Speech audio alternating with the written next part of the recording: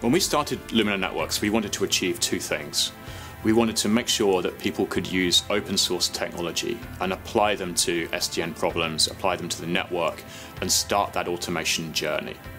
The second thing that we realized was that just delivering that technology by itself wasn't sufficient. We had to show customers how to use the tool and work with them on delivery and implementation of the solution.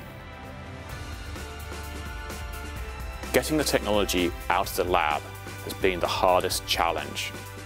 Our job is to be the catalyst in bringing these solutions out of the lab and into the live network combining open source and integrating it into the existing and legacy networks.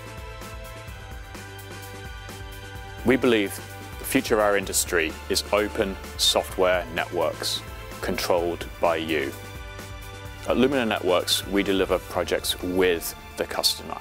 That means using agile methods and sprints alongside our customers. They're part of the team. They're contributing code where they want to. They walk away understanding not just how to use the solution, but how the solution was built. Join our movement, get out of the lab today.